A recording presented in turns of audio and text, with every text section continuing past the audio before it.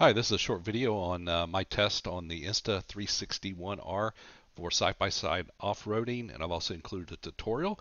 Uh, so I hope you guys uh, find this useful and enjoy it. This is a good alternative to uh, the GoPros. Okay, before I get into the video here, I'm going to go ahead and give you a bottom line up front in case uh, folks don't want to watch the whole video. Uh, so here are the pros and the cons I found after using this for about a week. Um, so the pros, uh, with the 360 module, you can literally look anywhere around your vehicle, including multi-view. You can have, you can be looking at yourself and be looking forward at the same time in split views. Um, you can pick out rocks as you go by them. You can uh, look at your front wheel if you have it mounted right, and you can see that, and then just pan over and be looking at the top of a mountain if you want to, or your buddy that's in another side by side next to you. Um, it's uh, offers a lot of capability there. The um, artificial intelligent features in this, or the AI features, are really good. Um, you can click in the multi-view mode on the app, and you can actually have it generate a selfie self view um, under the multi-view feature, which is kind of cool. The image quality is really good. I'm surprised. You know, this is like a 5.7K 360 sensor. Um, if you buy the Twin edition, which is what I have, you also get a 4K sensor module that you can put on there. With that 4K sensor module, it's uh, pretty close on par with uh, with the GoPro. I think I like the GoPro colors a little better as far as resolution. Um, and they actually make a um, an Insta360 one-inch Leica module that you can buy. It's about 300, about 250, I think, dollars um, and that would even be better than a GoPro as far as image quality. I don't have that, but I, I do have the Twin Edition, so I have both 360 and the and the and the 4K module, and both work pretty well. Um, the uh, the other thing I liked is it uses the GoPro style mounts. Uh, includes a cage that you use uh, to uh, to to um, attach it to things, and it just uses standard GoPro mounts for that. The design's very modular. Like I say, you buy that Twin Edition, and you you essentially have a GoPro and a 360 camera all in one package, and you can switch back and forth between those really easy, um, uh, depending on what you want to do. Um, the other thing is the iPhone app is very powerful with it. It also includes a, a fairly good desktop um, studio. So folks that are that work in like you know Adobe Premiere or if you're working with big files and find it difficult to do on the on the phone app, um, that's that's uh, you, that's an alternative you can do as well. So the downside, um, the the audio recording is terrible out of the camera, and you can hear that from some of my video clips. Uh, it only gives you a couple of options for how you you select voice or action focus. Um, it didn't do anything to, to help pick up the correct vehicle noise or to eliminate vehicle noise or um, it just it, it sounds kind of horrible. So um, you could get an external mic for this thing um, if you wanted to, but I, I just didn't like the uh, the the audio straight out. Um, the other thing I didn't like about it is it doesn't have built-in GPS. Um, you can use your cell phone to actually capture if you if you start and stop the camera using the Insta360 application. That application will actually pull the GPS data from your phone and encode it into the video. But you got to be running the application to do that. Um, so I didn't like that. The other option, and I didn't get a chance to test this, but I did go ahead and buy it, is they make a GPS remote control. It's actually a, a little button that you can start recording, stop recording, um, and it, it has built-in GPS in it and so it will actually collect the GPS data and and and um, add it to your your video. So that's that looked that looked pretty cool. I went ahead and got that, but I didn't get a chance to test it for this video. Um, the other thing I didn't like is the desktop software doesn't generate the GPS overlays for the app, um, whereas the the uh, are, for the um, for the video scene, whereas the app version of the software does do that. Uh, the other thing I didn't like is it only it doesn't give you a lot of templates with those overlays. You basically only have one overlay style that you can pick. It's kind of a modern looking style, and if you don't like it, too bad. Um, I hope in the future they, they give you options on that. I'm guessing they will. Um, the stabilization via the app software is done in post processing. It's not done on camera. Uh, so when you're either running the app in the your your cell phone app or you're running a desktop app, um, that's where it's going to do the stabilization. You cut it on and off. It's actually really good, but it's not as good as the GoPro. It doesn't give you as many settings on, on stabilization levels. You can either have it on or off, and that's pretty much it. But when it's on, it actually does a pretty good job. Um, the apps have a steep learning curve. It took me a while to figure out how to use that cell phone app. It's not that intuitive. Once you figure it out, it's okay and, and, you, and it's easy to remember. But it's kind of figuring that um, that out initially. It's that's really tricky. So expect the learning curve. And then um, the scene stitching on the 320, the, the 360 view module, it's good, but it's not perfect. There are times where I've panned around and you can see kind of a fuzzy edge um, where the two halves meet together. And there's different settings. I didn't play around uh, with with fine tuning that. You can calibrate that. Um, maybe that's the trick. But um, but I did see artifacts in it. So those are the pros and cons. Overall, I'd say it's a very valuable um, viable alternative to using a GoPro. Um, a, a, series of cameras. I plan on continue using this. I'm having a lot of fun with it. It's just fun to use. Um, being able recording a scene all around your vehicle and being able to pick out parts is gives you almost unlimited um, ability to, to do edits and things offline and just see different things. And, um, you know, I find myself as I look through the scenery just picking up things I didn't even recognize when I was riding, which is kind of cool. So I'm having a lot of fun with it. I'm going to continue to use it instead of the GoPro. I'm going to move forward with, with this as an alternative. Um, so it's pretty good. So now we'll jump right into it, but that's kind of the bottom line or the summary up front uh, for you guys that don't want to watch the rest of the video. And I'll jump in here and show you kind of what I've got and uh, how I made it work.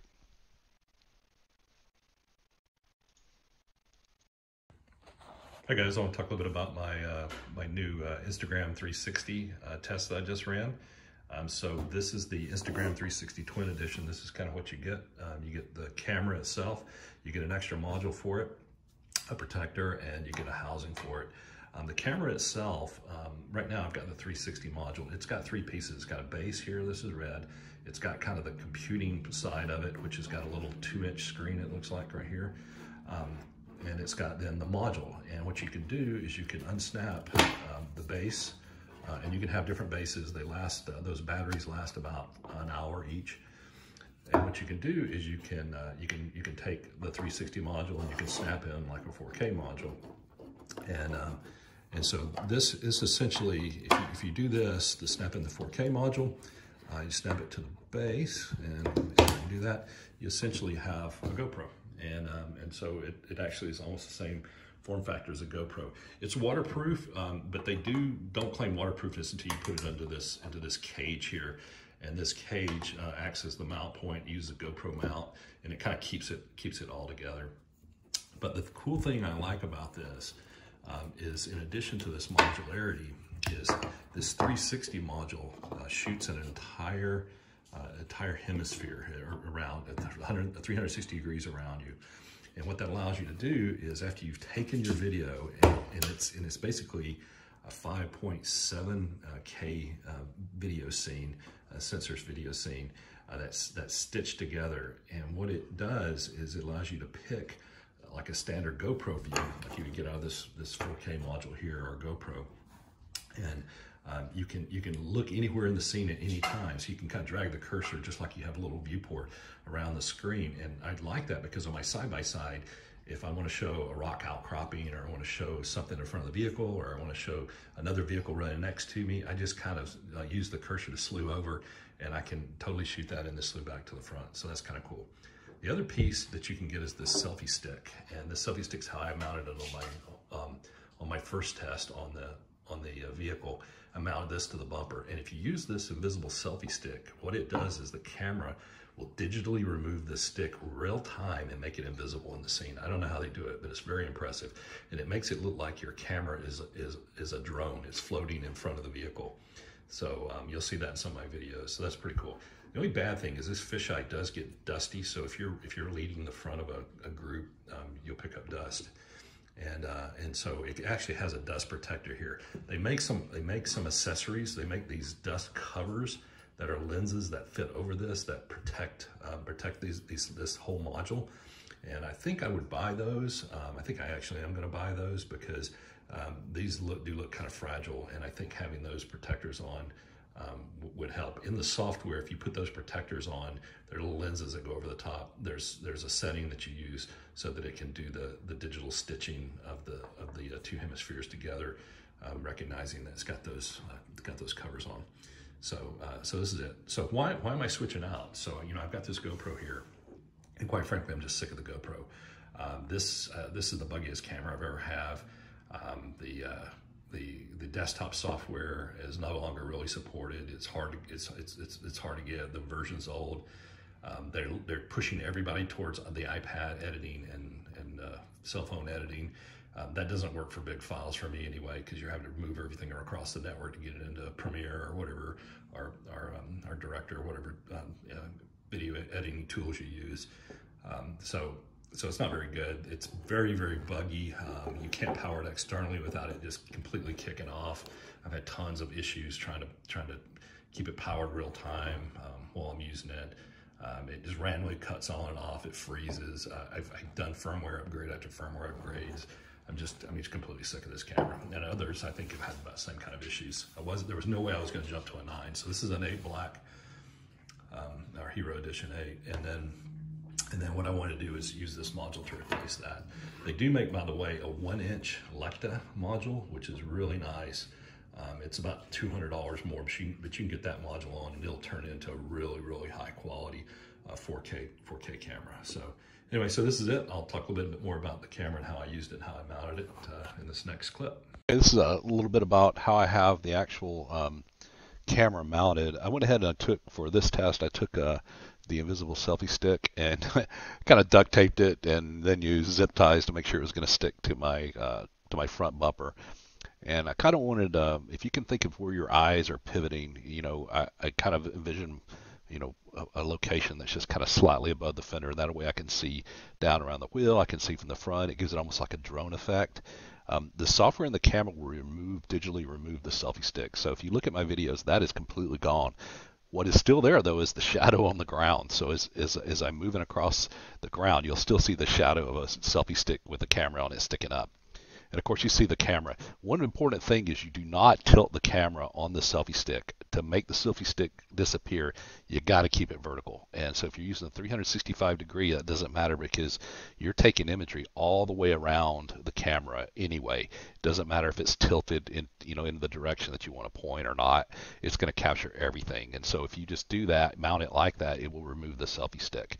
And you can see the camera here. It's in its protective frame. I've got the fisheye module um, attached to it. It's pretty dusty. Um, the first clip I did, I was following someone, and uh, this became this became really got a lot of dust on it. So that's one of the disadvantages. Later, I did a test where I actually mounted it above my visor. I like that position as well. It's a little different aspect, but uh, but that's kind of how it mounted. So I had it. I ran this for three days off in pretty rugged terrain, and it held up fine. This camera is very very light. It's it's lighter. It feels lighter than a GoPro. And so, even though it kind of vibrated, it didn't seem to make any difference. Um, it didn't shake loose. I did put some duct tape on the joints because this this telescopes out, so I could have telescoped this on up higher or lower if I wanted to. Uh, but that does slip if you don't kind of duct tape down to the joints. And so you see a, a, a, duct tape joint right here, and you see one right here where I've where I've kind of duct taped down. So that's how I have my uh, that's how I have my my camera actually mounted to the vehicle. I ran these tests; it worked out pretty well. I think permanently I won't keep it this way. Um, I think I'll probably mount it above my visor because that'll let me clean the lens. I can reach up there with a rag and just kind of wipe it off like I do with my GoPro now. Um, and also I can power it easier that way. I actually have a power USB-C that's up around my visor. Um, here, I, I, literally, when the battery's dead, I'm done. So I have basically an hour or 50 minutes or so of runtime uh, under this configuration right here before I have to get out and change the battery. I guess I could run a USB-C wire up to that. I, I, I don't want to go through all that trouble. So anyway, this is kind of have it mounted. Okay, I'm going to show you how to use the Insta360 desktop software. They call this a studio software that runs on your PC. Um, the app software is very, very similar. Matter of fact, you can do a little more on the app software as you actually can on the studio version. Uh, but the studio version is good for dealing with big files, and um, that, so I actually happen to have one. So we're going to open a file, and I'm going to carry you through the process of actually editing a clip. Um, I posted a few to the internet, um, and if you guys have seen those, then you know, you'll see how I kind of result, how I kind of generated those. Um, so what I do is I've got my Insta360 video files on my local hard drive.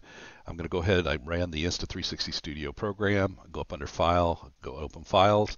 Um, your your camera is going to generate two files. It'll generate an LRV file and a video file. You want to click Edit the video file. So I'm going to load that, open this up, and uh, it'll start playing when you open it. I'm going to go up here. It's got live view and it's got free capture. I'm going to click on free capture. This allows me to insert keyframes and do all kinds of edits.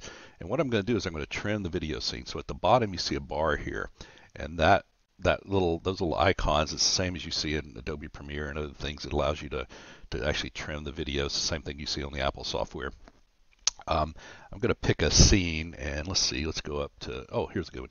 So what I'm going to do is I'm going to pick a scene where I'm kind of heading up uh, to the right of the, the hill climb at Sandam up to Tower 3, and that looks like it's about right here. Um, I'm going to tell it to, I'm going to move the trim bar so that it starts the video about right here. I'll tune in a minute. And then once I get to the top of that area, I'm going to, yeah, about right here, we'll end it. And so I'm going to pull in uh, the trim. And so now I've got a nice little trim video. I'm going to zoom out so I can see more detail in that. And you hit the little arrows you hit the little magnifier on the left uh, to the minus, and that gives you the zoom out. And there you can see my, my little trim setting is now zoomed in. So now I've got, here's my region to work with. It's going to end about right here. And um, maybe a little further I want it to end. Yeah, there we go. And then uh, I'll tell it to go back to the beginning. So here we are back at the beginning. If I play that, let's see where I actually start moving. Ah, looks like it's a little ways where I actually start moving let's see here, maybe maybe about right. There's 31, 32. Okay, it looks like I'm starting to move at 32. I'll go ahead and pick just a little more so I know we're moving right there. So now I've fine-tuned it. Let's see if that, yep, so that's movement. So now what I want to do is I want to pick where I, in the scene I'm looking. And here's here's the beauty about the 360 video. So I can grab the center of the screen and I can drag it. And as you can see, I can literally see 360 degrees around the vehicle. I can see everything to the left, to the right. I can just pick whatever scene I want and I can zoom in and out of the camera. Uh, I'm using my wheel button on my mouse to actually zoom in and out. I can zoom all the way down. There's my headlight. I can zoom over here. There's my right bumper. Um, yeah, I can zoom on myself or I can zoom zoom back, way back um, so that we're like fisheye lens, or I can zoom in. So I'll pick like about right here. I'm going to go ahead and drop a uh, drop a, a, what they call a keyframe, and a keyframe lets me pick where I want the video and what I want the camera settings to look like at any point uh, during the clip. And that's this little icon over here on the left side. looks like a, a bullseye. I'm going to click that, mark as keyframe. And on the left, you'll see it's got some settings. And so uh, it's got right now, it's got a 78 degree field of view that I've picked. Um, you can see the angle I'm looking at, um, the tilt angle, pan angle. You can actually do things like roll, all that. And then what I'm going to do is I'm going to have it start with looking at me and my son and, and the RZR here. I'm going to let it go for just a few seconds here. I'm going to center it a little bit. I'm going to drop another keyframe just to keep it centered. Okay, and now what I'm going to do is going to drop yet another keyframe. Now what I want to do is I want to start panning around to the other side. I'm going to center that up and over just a couple of seconds, I'm going to pan all the way now to uh, to my buddy who's now starting to go up. And this time when I drop a keyframe, what I'm going to do is I'm going to zoom in a little bit. And this makes it more natural. This makes it look more like a GoPro. I'm going to pick like 70 degree field of view. And so now uh, I'm going to be, I'm looking at my buddy and, and uh, we're just going to follow him. So hit play. So now we're following my buddy. He's going up in his RZR. There he is. I want to keep it centered though, so I'm going to drop another keyframe. I'm going to move the scene around a little bit, hit play. Now what I'm going to do is I'm going to stop right here because I want to track my buddy who's going up the hill. There, you can have it track objects. Like right here is this uh, is this called deep track feature.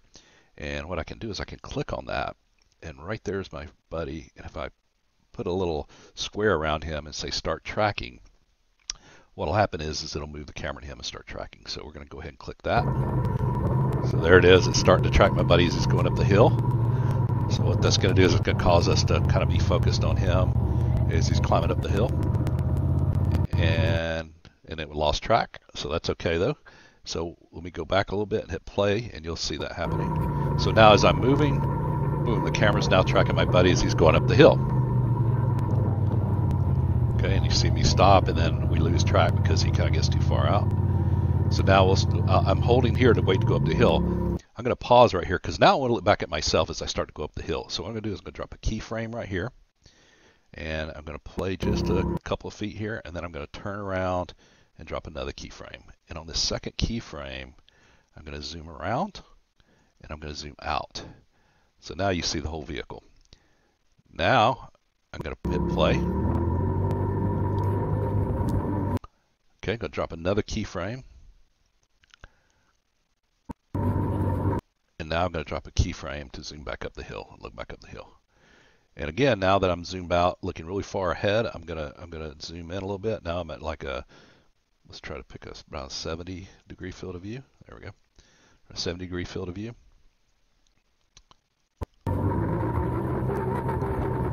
And we're gonna just go up the hill here.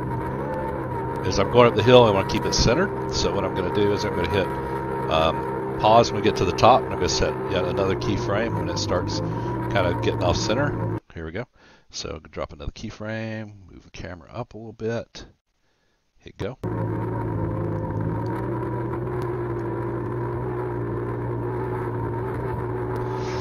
Just kind of watch it climb to the top.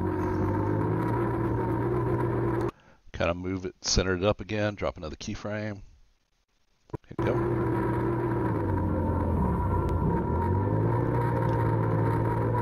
Now I'm going to pause. I'm going to drop a keyframe because I'm going to look back at the vehicle again. So this time I'm going to zoom back at me. I'm going to zoom out just a little bit.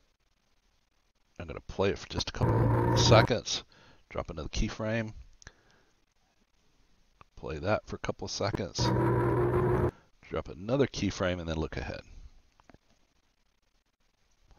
And now remember I got to zoom in. I'm about uh, at 90. I'm going to zoom back to back out to about 70 degrees. And as we get to the top, I want to look down at the rocks. And so what I'm going to do here is I'm going to click another keyframe. I'm going to tilt down. So now I'm looking right in front of the vehicle down at the ground.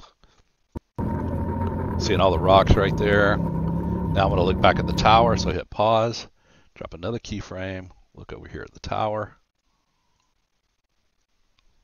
And what I can do is I can actually track my buddy. So I'll go ahead and put a little circle around him. Say start tracking. And uh, hit play. Whoop, sorry. Track, here we go. May have been too much light here.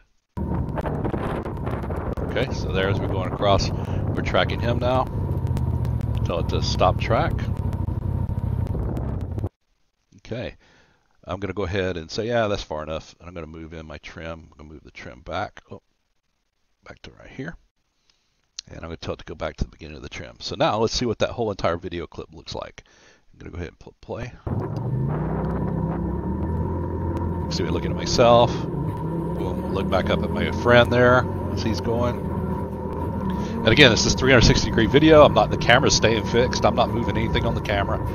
This is all done electronically by just uh, post-processing. There's my friend going up the hill, going up the trail next to Sandam. I stop here to make sure he's clear in the hill. Okay.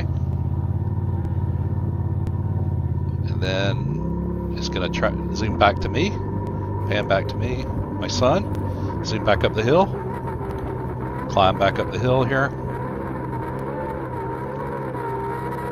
And let's see what happens. Should center back up. It's going to hit the next keyframe and center back up.